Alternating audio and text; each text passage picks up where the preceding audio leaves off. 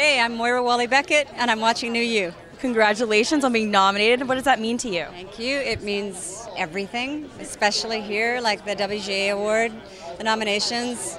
They're the ones that mean the most. When your peers say your shit is awesome, changed my life. Well, how has the reception been? How- Like, were you surprised? Did you expect it? I was really surprised, and I was out in the middle of nowhere. Um, it's sort of a self-imposed writing retreat uh, when I got the news, and I didn't even know that they were being announced that day. And um, I don't know. Yeah, I really feel it was so incredibly validating. It was wonderful. I understand that ballet has been your inspiration, your career in ballet. Can you tell me a little bit about that?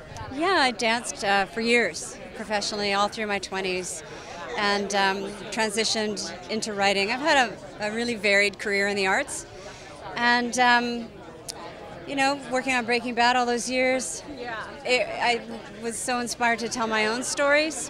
So, So, how did dance influence the series? how did dance influence Flesh and Bone? I mean, you know, from your perspective. Um, well, ballet is an optical illusion, and uh, it appears to be one thing, and it, in fact, underneath is many other things that people don't expect. So, those were the parts of the stories that I wanted to tell. And now, how do you? Yeah, definitely. And you're in great shape now. How do you maintain your fitness? Oh, thank you. Uh, I still So with a busy schedule. I, I still dance, and uh, I do a lot of hiking with my dogs. What kind of dance do you do now? Ballet. Yep. Too old, but still doing it.